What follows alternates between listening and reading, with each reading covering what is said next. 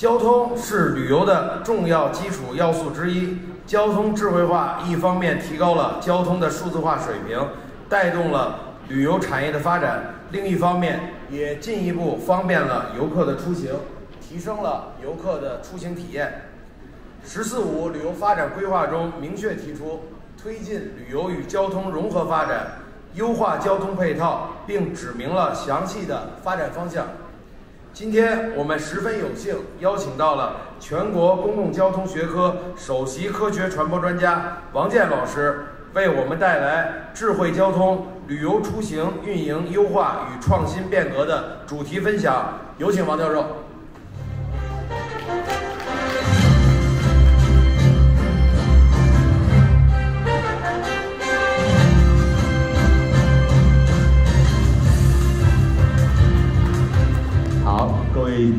来宾早安，这个很高兴来跟大家分享旅游出行跟这个按需运输的这么一个主题。呃，我们这是旅游车产协会的第一个 IP，叫做旅游出行。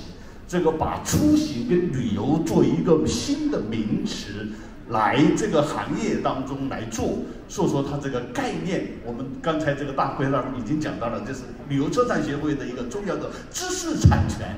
因此，那么我今天就是来做一点小小的演绎，就是旅游跟出行之间的这种关系，跟以前我们讨论的运输之间的关系有什么差异？而我们在这个运输行业当中，现在为什么又要把按需运输，以前叫做大众运输，还有私人运输？还有一些共享，我是想从这些概念上来跟大家做分享。首先就是大的领域里面来讲，就是讲到旅游出行的这个基本的概念。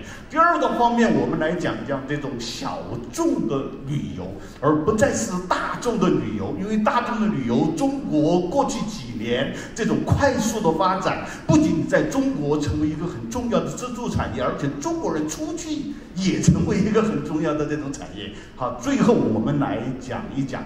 旅游发展当中，我们要对社会的影响最小，就是说可持续的。我们讲一讲一个案例，好，从这些这个案例当中我们来学习。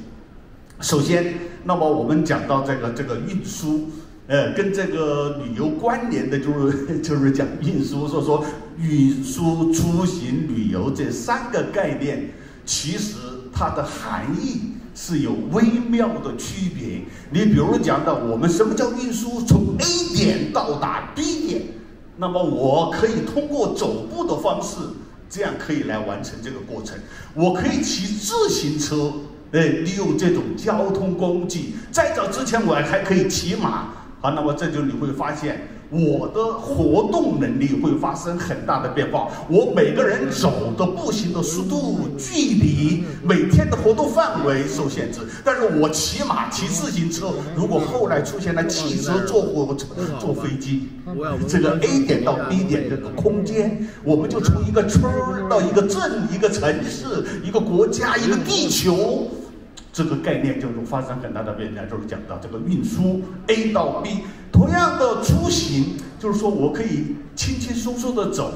比如说我有什么能力，哎，我从这个地方走到那个地方，我首先是一个健康的人，我可以走。我能够骑自行车，那么我具备个能力，还得有自行车在这个地方，我才能从 A 点到 B 点。假如说我想开小汽车，还有小汽车，所以说像这种就是讲到出行，我首先得有这种能力。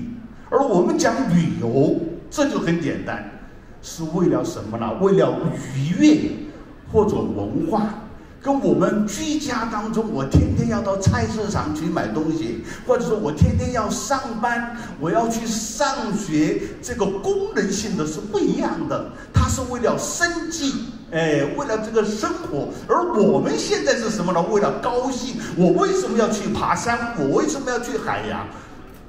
我要在这个体验我过去的生活当中没有的，因此你就会看得到这三个概念当中，如果我们把旅游跟这个运输关联起来，那就是要去度假，哎，去度假这一类的，或者说探险，或者说是文化或者宗教等等这一类，不是为了生存而从事的这样一些活动。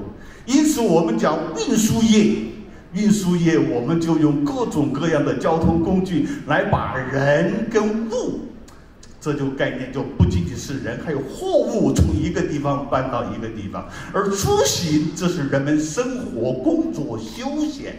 这个范围很广泛，而我们讲旅游，哎，那就不仅仅是因为你要出去，不仅仅是一个运输，你还得要住在那个地方，你去的那个目的地是风景啊，或者说是圣地呀。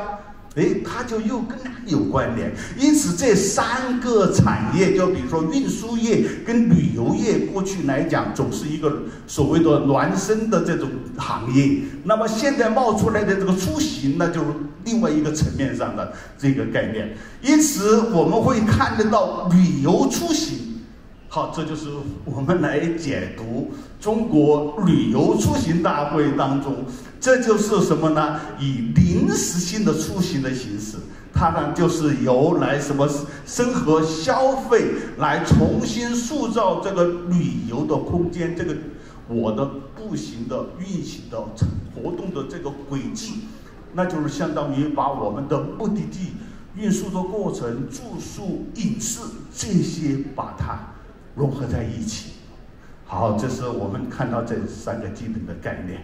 因此，那么我们说从旅游业，首先就是要讲到需求，人们为什么要去探索？为什么要去探索？那么我们就得看看他的。